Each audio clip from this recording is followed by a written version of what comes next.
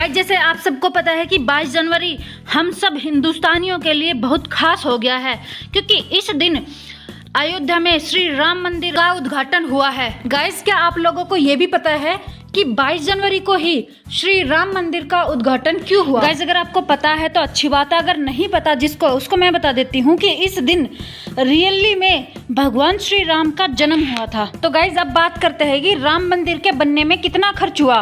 और कितना चंदा आया। तो गाइज़ सबसे पहले हम चंदे की बात करते हैं। तो गाइज़ जनता की तरफ़ से सरकार को राम मंदिर बनाने के लिए तीस अरब रुपए का चंदा मिला।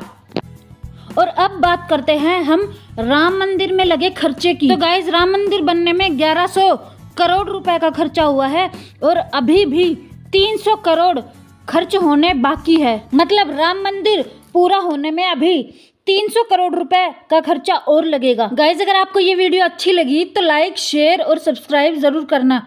Thank you